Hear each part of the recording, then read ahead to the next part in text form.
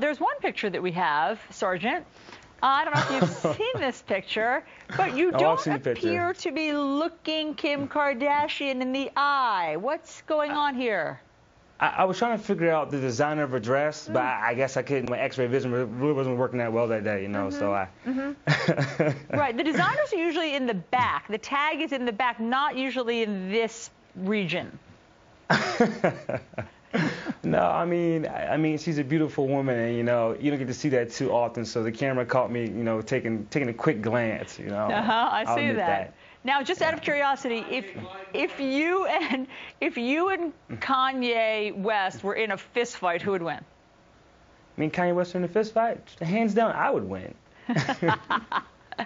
He, of course, is her boyfriend. But uh, what did she say? Did he mind her going with you? Um, I don't think so. We talked about Kanye West, and Kanye West is a real is a real cool guy. You know, she really cares about him. They're they're, they're a real, real, real, real true love story. You know, because uh, when she was taking my contact information down, you know, taking down my Twitter, which is I underscore am underscore dot underscore h o l l a. Follow me on Twitter. Good plug. She uh she put out she put out her BlackBerry and uh, in her BlackBerry the the screen the back screen was a picture of her and Kanye West and I thought wow that's something special right there. She really uh really cares about this guy, you know. So I was like, yeah, it's, it's legit. There you go. Well, you guys look like you're having a great time. Uh, Sergeant Martin Gar-